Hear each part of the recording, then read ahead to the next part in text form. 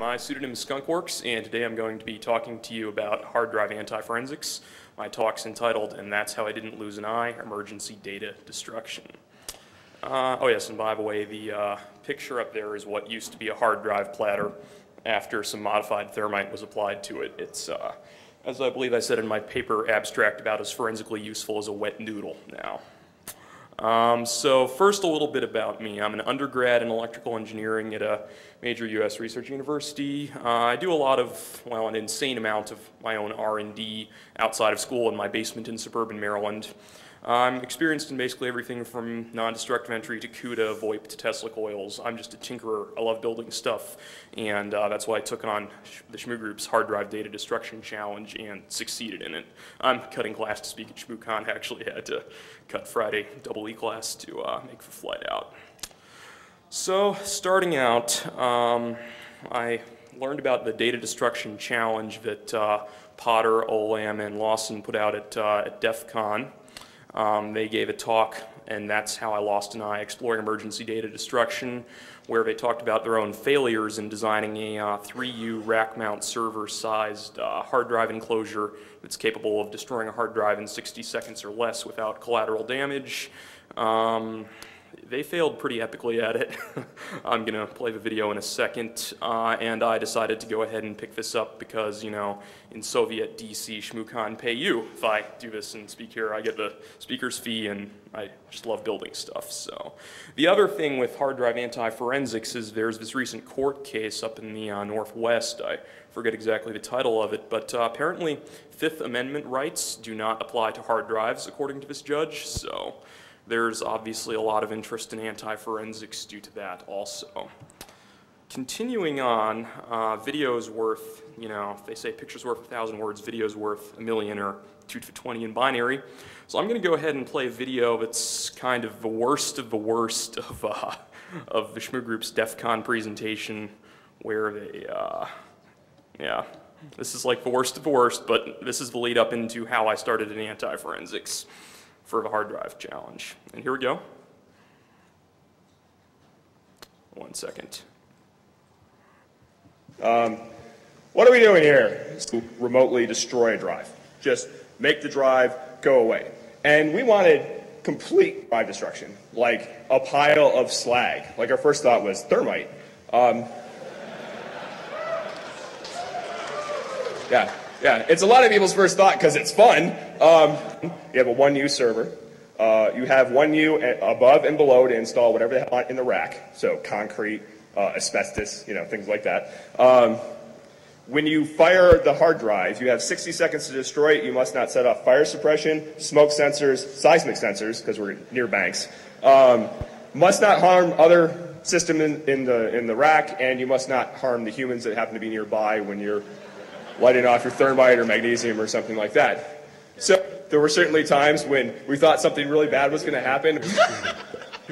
So we, we, initially split this up into three areas, uh, incendiary, which was Deviant's um, area of focus, chemical, which was Shane, and physical, which is mine. We're going to go through the efficacy of each of these.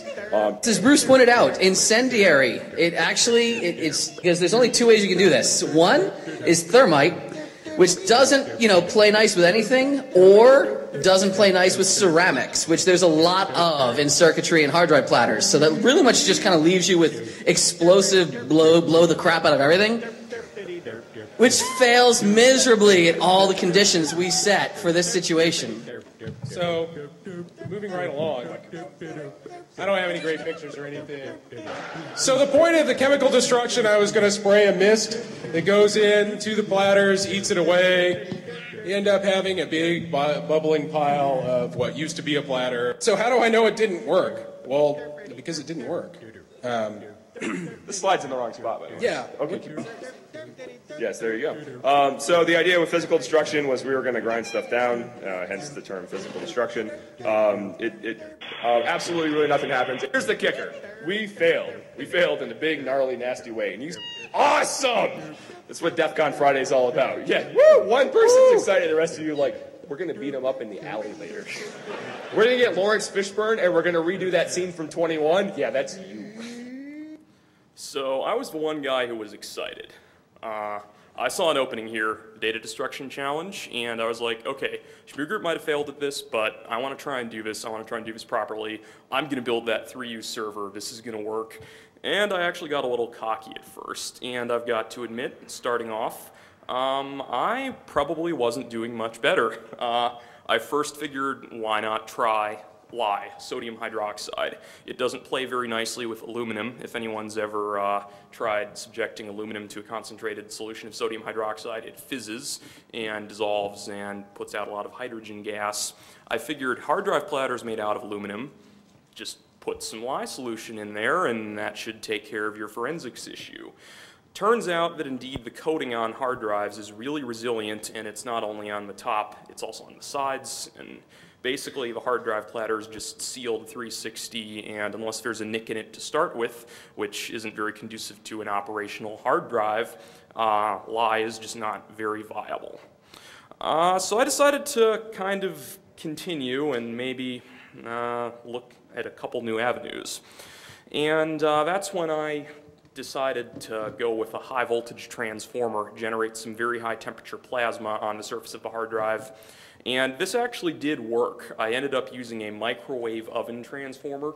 For those who aren't familiar, that's around a 2.1 kilovolt transformer in the range of uh, 700 to 2000 watts, depending on the microwave have 120 volts in, as I said, 2.1 kV out, and uh, it can jump a fairly good gap between two electrodes. I ended up using a couple uh, very high current carbon uh, motor brush electrodes, and I'd have them positioned on either side of the platter, one on the top, one on the bottom, and then I uh, spun the platter up, and uh, while the platter was spinning, I uh, applied the high voltage arc, and that did a very good job of, it partially melted the platter and it completely charred the surface of it.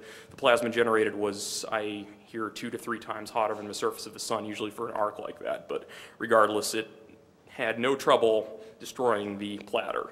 The main problem with that, though, is first off, you can't do it to a stock hard drive. You have to open up the hard drive in an ISO 5 clean room if you want long-term operation of the hard drive. And sure, an ISO 5 clean room is not the hardest thing in the world to get access to, but it, uh, it kind of seems like winning a don't blink contest by starting with your eyes closed, in my opinion, even though I did technically meet the requirements.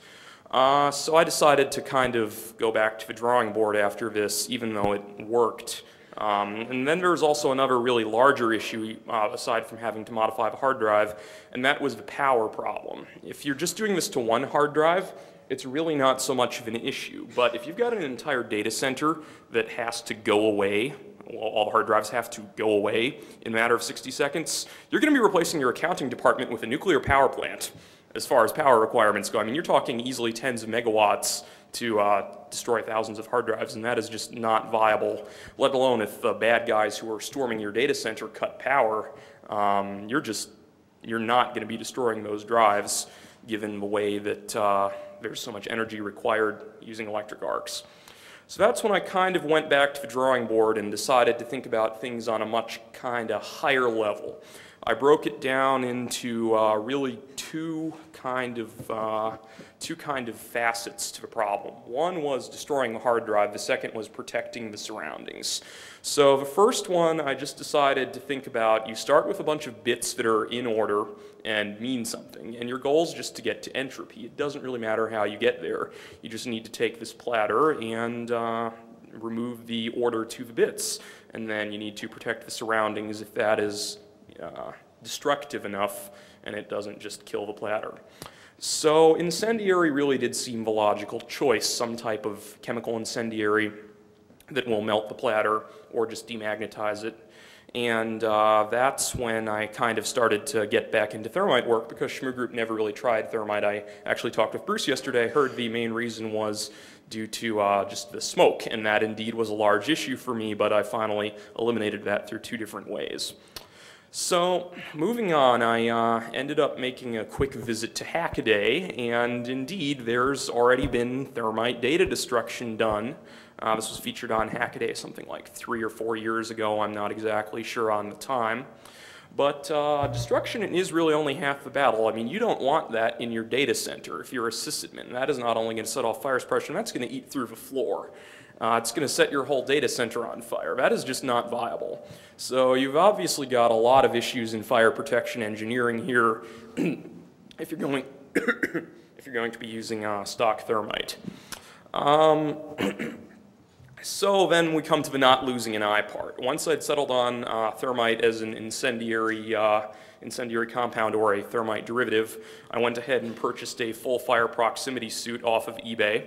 Um, this, yes, and and fire entry suit gloves. The gloves are actually rated for uh, short duration contact to 2000 Fahrenheit. So as long as you're not placing a pile of thermite on your head and setting it off, this is very excellent at protecting you. If you ever watch Mythbusters episodes where they work with thermite, Jamie Hyneman's always the one wearing this. So about 170 bucks off eBay. I had safety pretty well taken care of. And then I'd also like to add, throughout the course of my thermite experimentation, I was very careful about uh, not setting fires in the surroundings. Uh, whenever I was setting off amounts larger than around 10 grams that had the possibility of throwing off a lot of slag, a lot of sparks and the like, I would always do the experiment in a four foot deep pit dug in my backyard.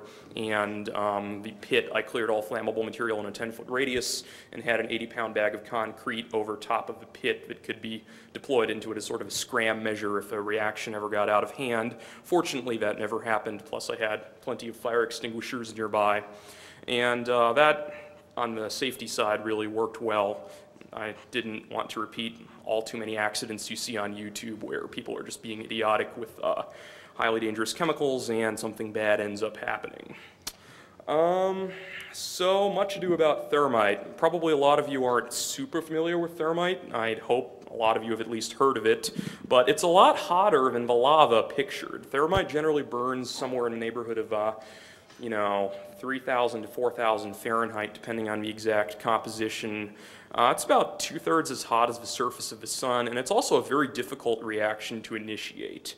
Um, it generally takes magnesium and electric arc or something else that burns at an insanely hot temperature. In fact, usually hotter than the thermite to set it off. You can have thermite glowing red hot and it will not go off. And uh, for those of you who are curious, the exact chemistry behind regular thermite is 2.96 uh, units by weight to one unit by weight of ferrous oxide to aluminum powder.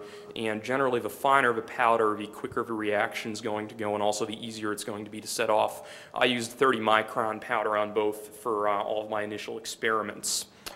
Continuing on, I wanted to establish a baseline as to what reliably destroyed a hard drive. So I fired a series of, I believe, around eight or nine hard drives before I came to, uh, came to the realization that around one kilogram of thermite was necessary to reliably get a hard drive fully destroyed.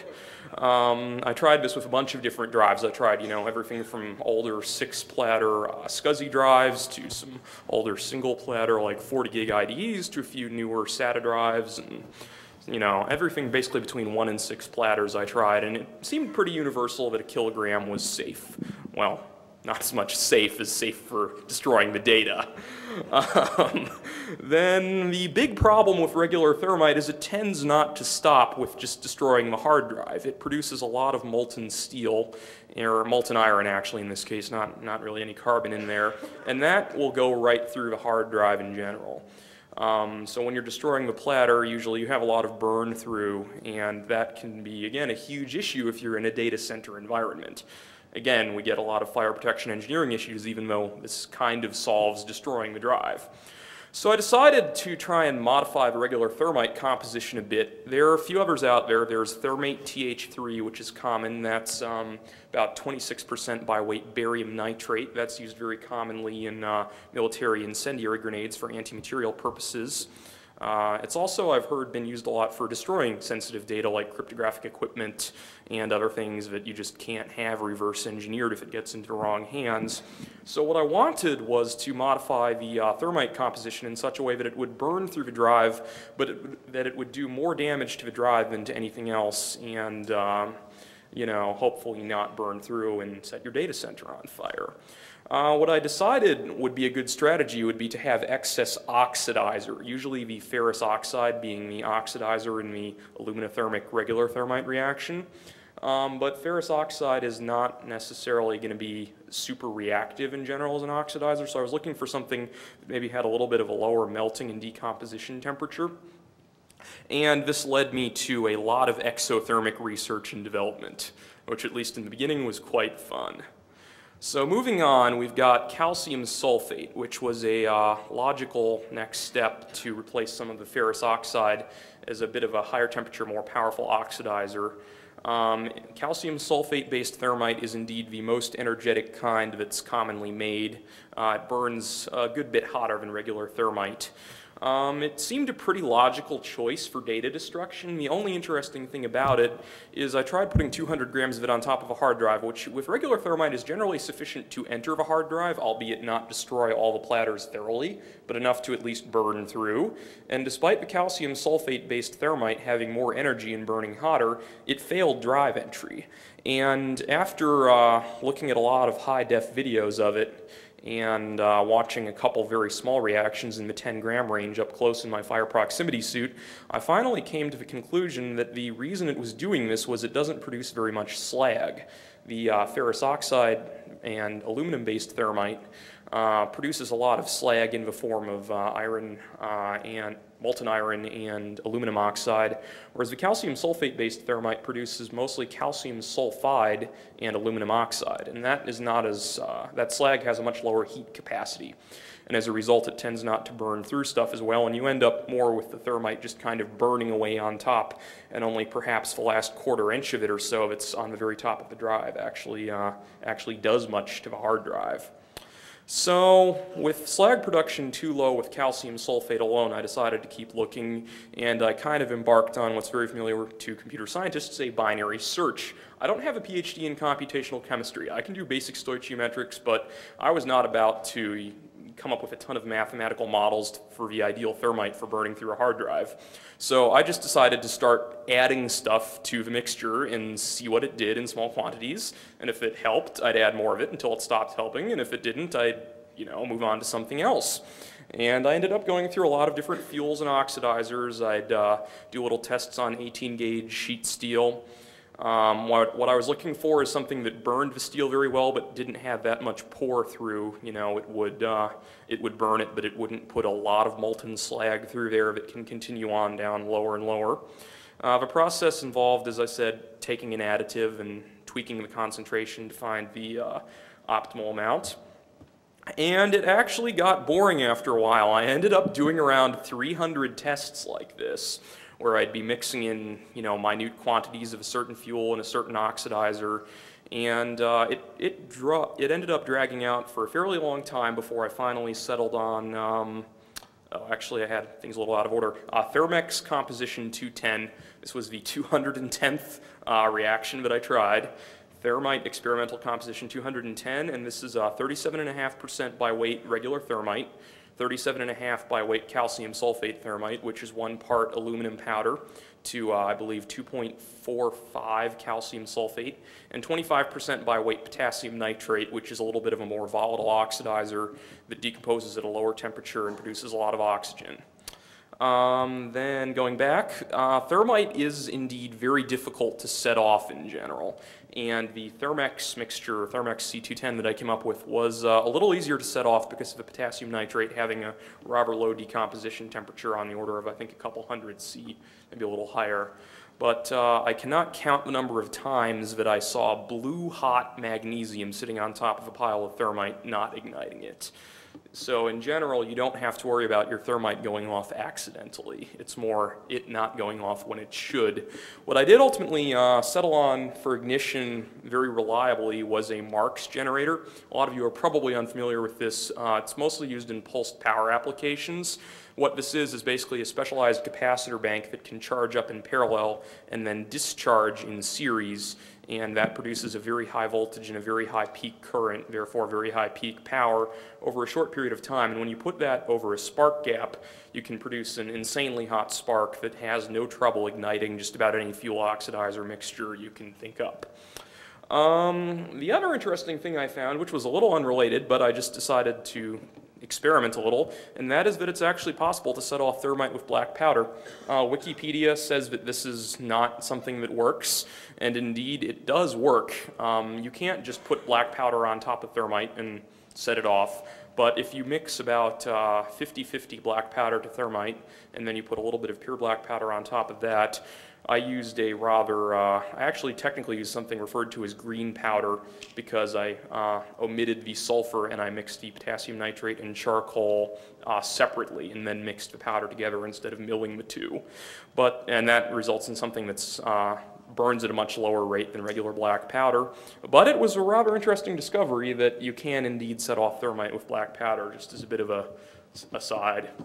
Um, there are also more exotic reactions you can use, like potassium permanganate and I believe uh, glycol, and that will burn at a high enough temperature to initiate thermite. But I pretty much just settled on a Marx generator, a bunch of pulse capacitors for my uh, experiments once I'd uh, once I'd found that to be reliable.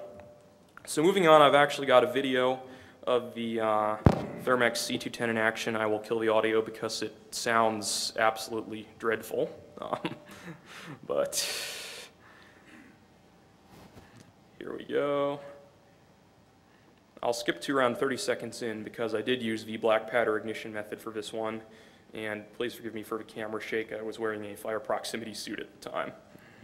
Uh, let me see here. Oh, that's, okay. There we go.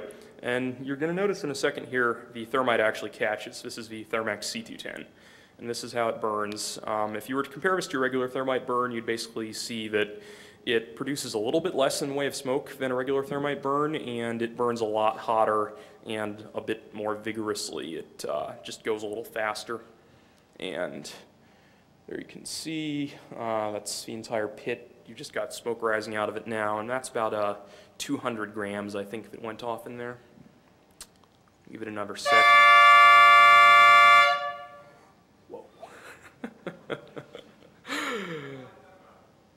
yeah, I, uh, I, did, I opted not to bring a live demo today. okay. So, moving back to the presentation. Uh, okay. So that indeed uh, succeeded in entering the hard drive. There I've got a picture from another test, just a still, of uh, white hot calcium sulfate thermite well, or Thermex. It's got calcium sulfate and potassium nitrate. Um, and that's right after it's gone through the hard drive, and the hard drive is basically filled with slag. You've got that little bit left on top. This is probably 10 seconds after I set it off. And uh, it was very successful, completely anti-forensically destroyed the drive. There is no way you're going to get data off of it again. Uh, but that still leaves a big fire protection engineering challenge, and that's really the secret sauce in this. Destroying a hard drive with thermite is nothing that original. Uh, as I said, it's been done on Hackaday before. It's kind of more of a fire protection engineering here, but it was the hard part. Um, the tedious part was mixing 300 some odd compositions of thermites find the right one. So the goal is to take the data center and have it not turn into that. Uh, so, containing the beast. I settled on fire-rated drywall pretty early because it melts at around 1500 C. While this is below the temperature that all the different thermite compositions I'm playing with melt at and burn at, um, it melts rather slowly in the presence of thermite. And in addition, there's a pretty interesting kind of exotic endothermic trick to the way fire-rated drywall works and that is fire-rated drywall is calcium sulfate, aka plaster, actually one of the components in my thermite, which is a little ironic. Um, but the difference between the stuff in the thermite and the stuff in the drywall is the stuff in the thermite has absolutely no water in it. It's what's referred to as the gamma anhydrite phase of calcium sulfate. It only forms when you heat the partially hydrated phase above around 300 Celsius. Um, but the gamma anhydrite version is quite reactive chemically in comparison to the hemihydrite. The hemihydrite version is what's in fire-rated drywall. And when the fire-rated drywall is in the presence of a fire, all that water slowly boils out of it, the hemihydrite, referring to the fact that uh, for each calcium sulfate atom, there's an average, or each calcium sulfate molecule, sorry, obviously, there's an average of half a water molecule attached to it. And um, what happens when it's exposed to a fire is all that water very slowly boils off. And when that water boils off, that's an endothermic process. And what that basically means is that the uh, drywall cools off as it's being heated and that water's being driven off. So the drywall actually takes a lot more energy to melt than an equal amount of just pure anhydrous calcium sulfate would. And that's kind of a bit of the secret sauce in fire-rated drywall and the reason why it was suitable for stopping the thermites like that. So I ended up building a prototype of this box. Uh, I just used 5 eighths fire-rated drywall. Um, in that one, a single thickness. And uh, then I went ahead and set off some of the different thermites in it, and I found that even up to uh, 400 grams sitting directly on top of it, there was not burn through. And in fact, the other side of it never got above around 200 Fahrenheit over the entire course of the test, which is quite good. Um, moving on then, uh, there's still a big smoke issue. So that's, uh, you know, I had the box there, and ultimately for the, proto the first prototype, I sealed the top of the box and um, set off the thermite inside, but it still smokes. You know, the smoke pours right out of the box. So what I ended up trying to do for the next version of the prototype, unfortunately I don't have pictures of the last couple. They're still sitting at home and I have not photographed them, but um, I, I just put an exhaust pipe on it and that basically met the challenge with the single caveat being you need to have access to exterior ventilation for the data center. So the uh, box back there, it is 3U sized. It meets all the requirements on that. And with the top on and the exhaust pipe, uh, the exhaust pipe again being the only caveat, it meets the challenge. And all the smoke goes out the exhaust pipe instead of, um, instead of pouring out of it. Then moving on though, I did try putting a HEPA filter on it where I'd take the side, I'd take one of the sides off the box, and then instead of having the exhaust pipe, what I'd do is I'd have two steel baffles. Uh, one would be located about uh, maybe halfway down the box, and the other would be located three quarters of the way down the box, one on the top, one on the bottom. What the baffles do is prevent uh, radiant heat transfer uh, via infrared and visible radiation. And uh, what that does is it prevents the HEPA filter from catching on fire. I did not learn this the hard way. I thought of it ahead of time. But then I was able to just take a section of HEPA filter, the type you put in your furnace, and just replace the outer wall with that. And that stopped all the smoke. Pleated paper HEPA filter. I did also try this with a fiberglass filter, and that actually does reduce some of the smoke, but it still failed pretty horribly. The smoke kind of poured out of the fiberglass and that just wasn't a, uh, wasn't a very good solution to the problem, but the HEPA pleated paper one did do it. So that's the uh, Mark II prototype. I also did decide to go with uh, double thickness fire rated drywall because I had a lot of excess on the height and uh, width for the 3U form factor. I mean, the box back there was 3U, but for the second one, I basically just took the same box, layered some extra drywall inside, and then put up the baffles. And believe it or not, this is actually a rather boring process to watch. When the hard drive gets fired, it just, uh, I mean, the box basically just sits there. You don't see anything. And uh, no, no smoke pours out anymore. And I mean, as uh, I think Bruce put it, you know, what's the reason you don't want to use crypto on this? You just see the crypto and it's like, you know, oh, it's crypto. Yeah, it's working. Yeah. This is actually kind of the same. You just hear a vague hissing noise and it's like, well, your data's gone. Data's gone. Okay. um, and I did use a Marx generator with a couple uh, wires leading in just for ignition on this one. Uh, but probably using some type of glow plug or some other exothermic composition to start things off would be a little better for a production model. The other important thing to point out is my prototype had a materials cost of somewhere in the neighborhood of $10. That's including the uh, thermite. And that's a really cheap solution for a uh, drive destruction or, you know, a self-destruction feature on a hard drive. Like most of the uh, hard drives that are currently marketed with self-destruct features in them retail for two or three times or even way more just for a hard drive with a self-destruct feature than a comparable drive without one. And this, in fact, seems to do it rather well in uh, about, as I said, probably under 10 bucks worth of cost. So I accidentally have a whole magnetism. It indeed does work, and I've got a hard drive uh, I can actually pass around for a couple people after this. I'll, I'll pass it out after the talk. I've got this hard drive I just photographed, and um, there's basically nothing left of the platter material. Uh, there might be a bit in a couple spots, but I'm sure it's been past 800 C, which is the Curie point. And um, that was only actually with a 300 gram charge of the Thermex. If you move up to about 400 grams, it, uh, you can't even really recognize the platter as much. But uh, that's basically my, my prototype. So then going from there, kind of what are the lessons I've learned from this uh, is probably going with a much larger unit that's made out of multiple layers of fire-rated drywall that's uh, capable of containing a lot more hard drives would actually be the best kind of to get an economy of scale. I envision something more like a 20U sized unit and then from that 20U sized unit you could perhaps put uh, several layers of fire-rated drywall up along with uh, perhaps dozens of hard drives, many kilos of uh, my Thermex or regular thermite. And uh, there are, of course, self-destructing drives that are already out there, but I think something like this, if scaled up more instead of a single drive, or actually, if you look back here, I managed, uh, oh no, I've got, uh, I actually got four drives at 400 grams apiece without causing significant damage to my current prototype. But as I said, I think dozens of drives could possibly work in a much larger unit, and then you can really get economy of scale in place. The other very interesting thing I found is if you do have clean room access and the hard drive has enough extra space inside of the top of the case, which the majority of them do, you can actually get away with putting 10 grams of uh, thermite directly inside the hard drive and uh, use a binder, generally some type of plastic. I use polystyrene. And um, then the uh, thermite with the binder inside the hard drive will destroy the hard drive without any outside collateral damage. You could actually have that hard drive sitting inside a server, and there's so little uh, extra heat that makes it to the outside uh, that it would not damage any other components most likely, and a very minimal amount of fireproofing would work.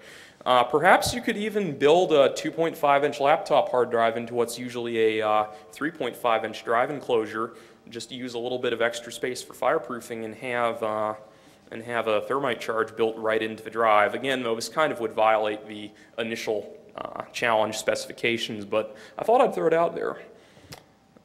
So that's kind of the uh, end of the talk. Actually, I'm a little bit early on time, but uh, got any questions real quick?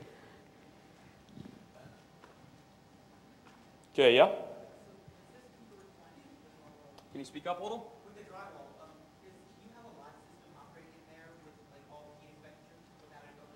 Oh yes, the uh, question was with the drywall, can I have a live system operating in there uh, without the uh, overheating issues coming up?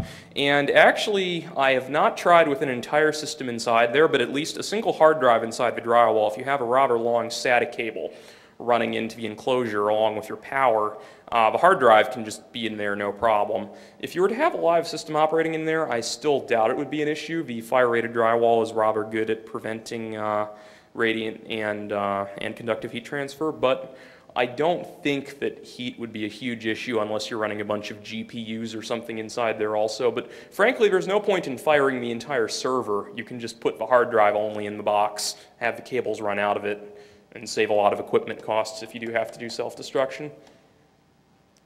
So any more questions? Yep. Hmm? Oh yes, this is definitely applicable to solid state hard drives. Uh, they're destroyed at a far lower temperature than regular platters. Um, I believe the flash memory can only survive up to maybe a couple hundred C tops. So that would be very easy to destroy them. I, I think you could even get by with a lot less reaction material. And uh, perhaps a lot less fireproofing material also. Okay, anyone else? Oh yes, uh-huh.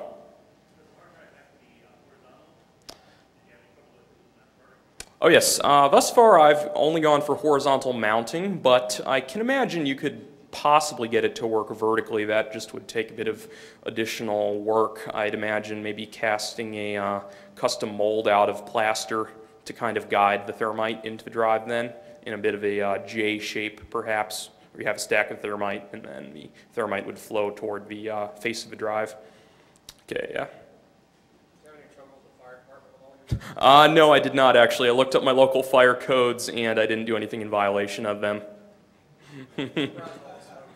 Oh, yes, well, uh, I mean, it did put out a lot of smoke, but the uh, rule up in uh, Montgomery County where I was, I believe, was 18-inch flame radius, and I never exceeded that. And you can actually get a uh, permit for bonfires and the like to go a little larger, but I never set off anything larger than that anyway. oh, yes. Yes, I definitely got a lot of neighbor or a lot of looks from the neighbors walking around in a uh, fire proximity suit. They're kind of like, "Huh, what's up with that?" And I'm just like, "Oh, doing some research, you know." just a bit of research.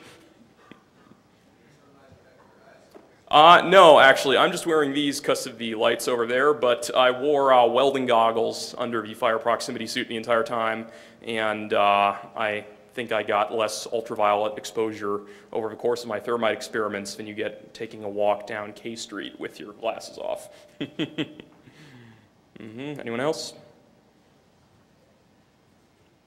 Oh, yeah? Got someone where? Oh, yeah, okay. Yes, that's actually an excellent point, and I'd, I'd meant to touch on that, in fact. Thanks a lot. Um, the potassium nitrate ended up oxidizing the uh, aluminum platters very well, and that's one of the reasons I had a lot less burn through using the uh, custom Thermex C210, as I called it, than the regular thermite, um, because the hard drive actually participated in the thermite reaction, but didn't produce that much slag. So that was, uh, yes, the, what ended up happening is all the slag that did make it into the hard drive had a huge surplus of oxidizer, and then after the coating was burnt off, the aluminum just basically rusted very quickly into aluminum oxide. Yep. You talked a bit about using this in a data center. Mm-hmm. You didn't go much into the use scenarios, but uh, this is more of a comment than a question. But one thing you can do is use uh, disk encryption on all the machines that you're curious or uh, wanting to protect, and then have a key management server that actually has all the keys for those. You know the master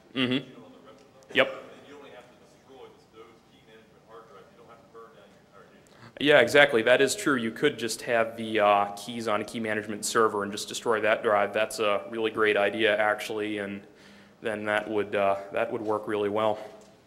Yeah. Okay. Okay, so as one of the jackasses that entirely failed, I'd like to applaud your research. Actually Thanks a lot. Research, Really, uh, just really a comment, great work. Thanks a lot.